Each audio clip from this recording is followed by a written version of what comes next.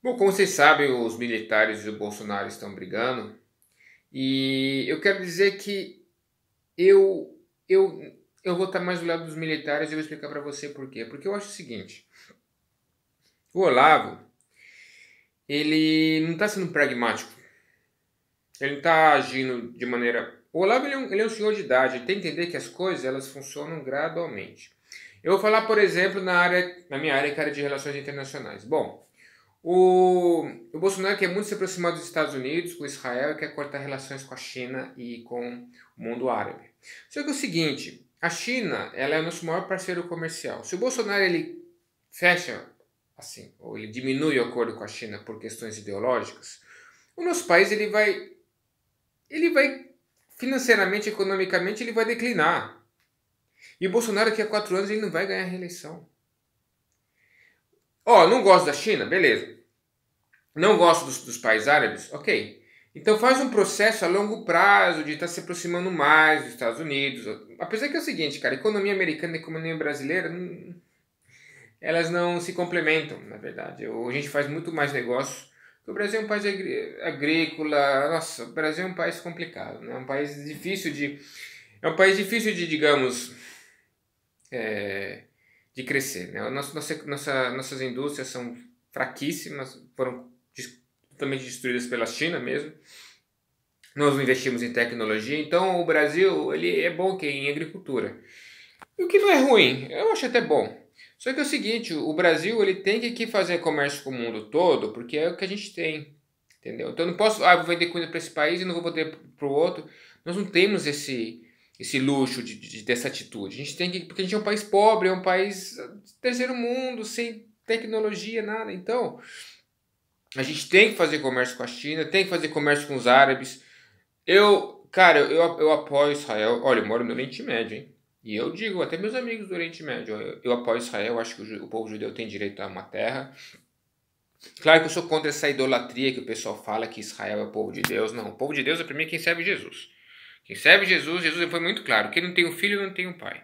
Não acredito nessa teologia de que Israel é, hoje em dia é o povo de Deus. Não, o povo de Deus é quem serve a Jesus. Quem não serve a Jesus já não é o povo de Deus. Jesus foi muito claro: quem não tem um filho não tem um pai. Pronto.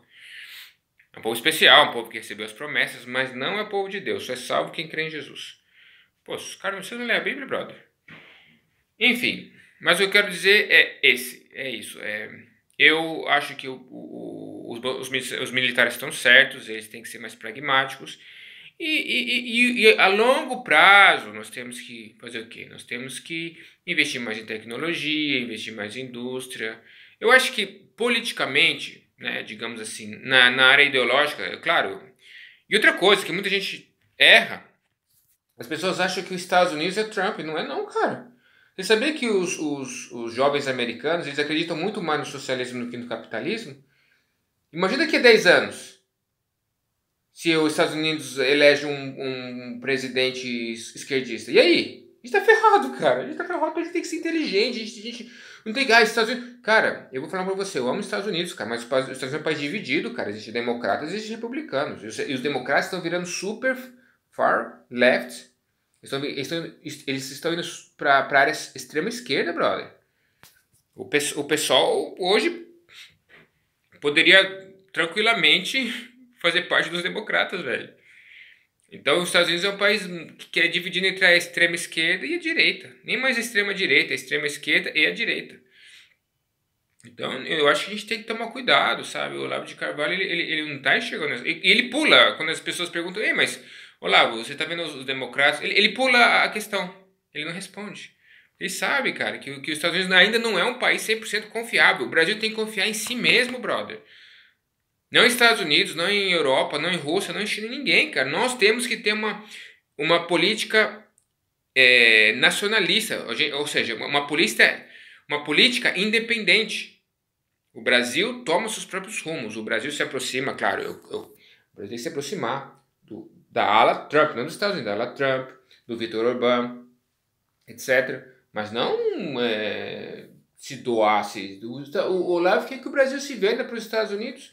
Aí os Estados Unidos é, é, elege um presidente super esquerdista e a gente está ferrado. Totalmente ferrado. Vai ser pior.